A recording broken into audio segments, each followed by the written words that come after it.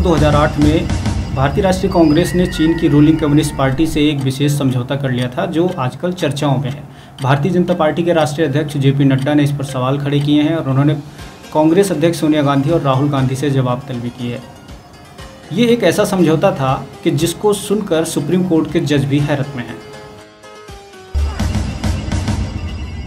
नमस्कार मैं त्रिनाथ और आप देख रहे हैं रेडियो इंडिया का विशेष कार्यक्रम देसी पड़ता। कम्युनिस्ट पार्टी ऑफ़ चाइना और कांग्रेस पार्टी के बीच हुए 2008 में इस समझौते के पीछे की असल कहानी के बारे में आज चर्चा करेंगे, और इसके अलावा आपको बताएँगे कि आखिर इस चर्चा को लेकर के, इस मुद्दे को लेकर के भारतीय जनता पार्टी के पेट में इस वक्त मरोड़ क्यों उठ रही है? इससे पहले कि हम इस कार्यक्रम में आगे बढ़ें, एक नज़र डाल लेते हैं, क्या था ये समझौता और इसके पीछे की असल कहानी क्या थी? वर्ष 2008 में तत्कालीन सरकार में रहने के दौरान कांग्रेस पार्टी ने चीन की सत्तारूढ़ कम्युनिस्ट पार्टी ऑफ़ चाइना से एक विशेष मेमोरेंडम ऑफ़ अंडरस्टैंडिंग पर साइन किया था। इस समझौते को सार्वजनिक रूप से तो किसी को नहीं बताया गया, लेकिन अंदर खाने इसका लाभ शायद कांग्रेस अब भी ले रही है।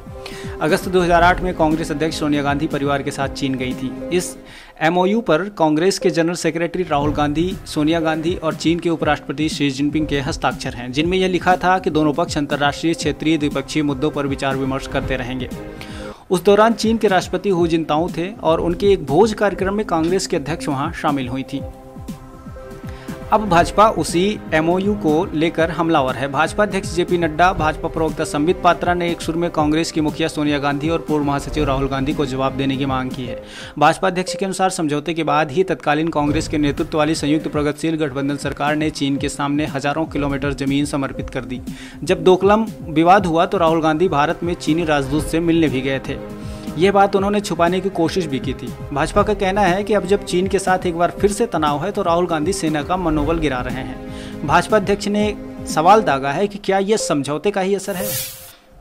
अब लगे हाथ ये भी जान लेते हैं कि 2008 में कांग्रेस पार्टी और कम्युनिस्ट पार्टी ऑफ़ चाइना के बीच हुए इस मेमोरेंडम पर भारतीय जनता पार्टी के पेट में मरोड़ क्यों उठ रही है?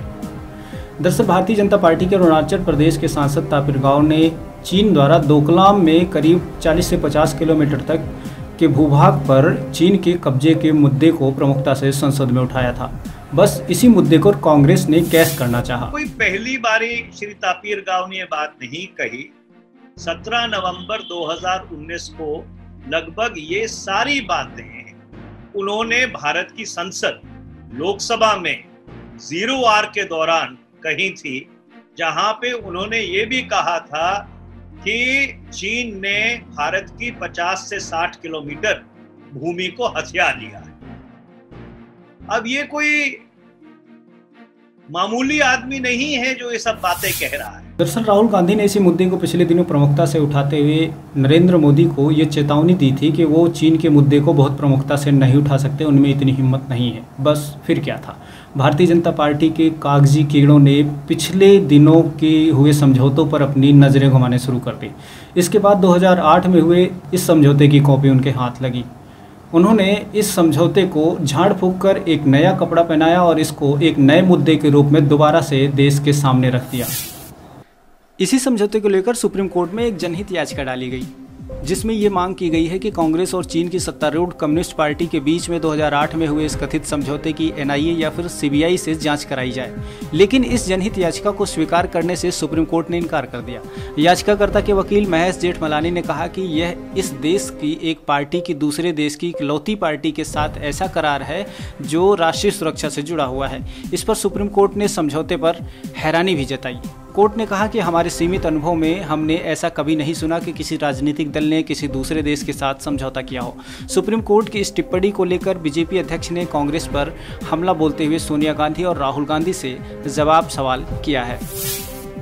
कुल मिलाजुलाकर कांग्रेस की चीन से नज़दीकी का ठीकरा कांग्रेस के ही हिस्से में डाल दिया। तो साथ ही मुझे उम्मीद है कि आज के इस देसी पड़ताल में हमारे इस प्रयास से आपको ये समझ में आ गया होगा कि 2008 में कांग्रेस और कम्युनिस्ट पार्टी ऑफ़ चाइना के बीच किया गया यह मेमोरेंडम ऑफ़ अंडरस्टैंडिंग क्या है और इसके पीछे की असली वजह क्या है? और क्यों भारतीय जनता पार्टी इस मुद्दे को ज़ोर शोर से उठा रही है? अगर आप हमें फेसबुक पर देख रहे हैं तो हमारे पेज को लाइक करें और हमारे वीडियोस पर कमेंट करके अपनी राय ज़रूर बताएँ। यूट्यूब पर देख रहे हैं तो हमारे चैनल को सब्सक्राइब करें और बेल आइकन ज़रूर प्रेस करें ताकि हमारी तमाम वीडियोज़ आप तक सबसे पहले पहुँचती रहें। इसके अलावा आप हमारी web portal e radio India dot com पर विज़िट कर सकते हैं तमाम नेशनल और इंटरनेशनल जानकारियों के लिए। बहुत बहुत शुक्रिया, नमस्कार।